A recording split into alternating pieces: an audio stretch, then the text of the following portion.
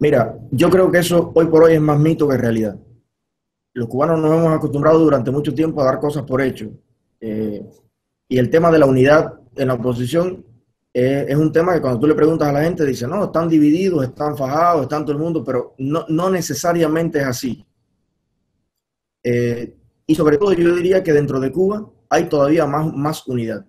Claro, hay unidad entre proyectos afines y proyectos que pueden colaborar y que tienen más o menos una, una eh, coherencia, una similitud en sus objetivos. Tampoco es que todo el mundo tiene que, estar todo el tiempo cogido de la mano como, como en Corea del Norte, ¿no?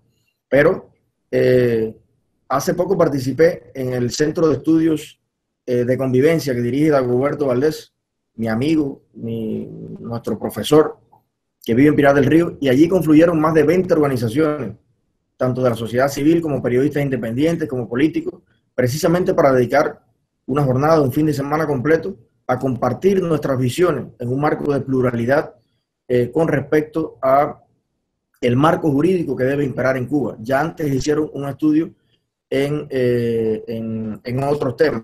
Por otro lado está, por ejemplo, el proyecto Por Otro 18, que agrupa, tengo entendido, casi 40 organizaciones y más de 10 en su grupo gestor, que es una iniciativa sumamente importante en el contexto que existe hoy en Cuba, a la cual nosotros vamos a colaborar con, con todo lo que podamos.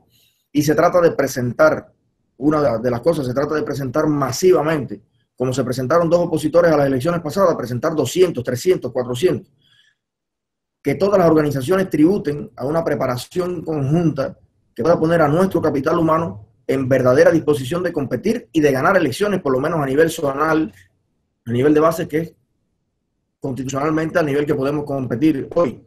Pero eso sería bueno porque imagínate que eh, aun cuando los 200 opositores perdieran las elecciones, si tú sumas los votos que cojan, que creo que del Brando y el otro muchacho cogieron 37% en un caso, casi 40% en el otro, cuando tú sumes todo eso en toda Cuba, por primera vez, por, por lo menos tendrás un termómetro para medir que existe un nivel de apoyo en la oposición y que pueden ser decenas de miles de personas.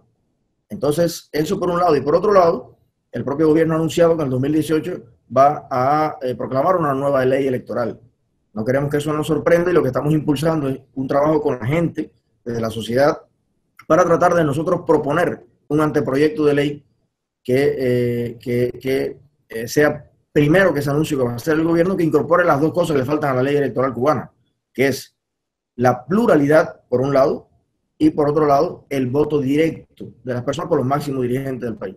Eso te lo pongo como ejemplo de proyectos en los que cooperamos mucha gente. Está el espacio, lo que se llama el espacio abierto de la, sociedad civil cubana y la oposición, donde hay también un montón de organizaciones. Está la mesa de diálogo de la juventud cubana. O sea, hay, hay muchas cosas que yo creo que se están haciendo de manera conjunta.